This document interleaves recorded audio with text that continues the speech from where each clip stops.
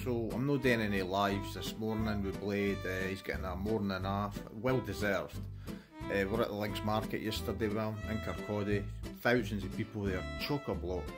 Blade was obviously exhausted after it, so he was, he was brilliant. The amount of people that obviously noticed Blade, cheers for coming up and not being bell ends. Uh, everybody was sound, and that's what I say people, Ken. If you're sound with me, I'll be sound with you, Ken, because we were getting approached every 20 settings. Somebody was coming up to Blade, obviously wanting to clap him. Was that the dug for TikTok, Instagram, Facebook, and YouTube? Facebook getting popular with people. Even somebody, as I say, watches him on YouTube. So Blade was amazing. Can he handle it in stride? If anybody's been to the Links Market before, biggest uh, fun fair in Europe.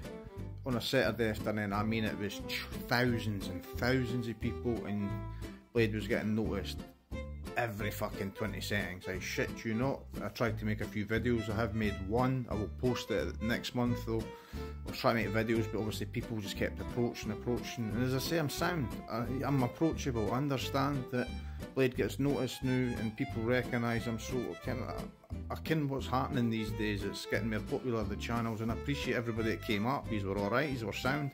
And I was sound to everybody. So you trolls always give me shit and say this and that about me. You didn't fucking ken me, right? Because I've never even been in my company. I'm a decent person, Blade sound as well. So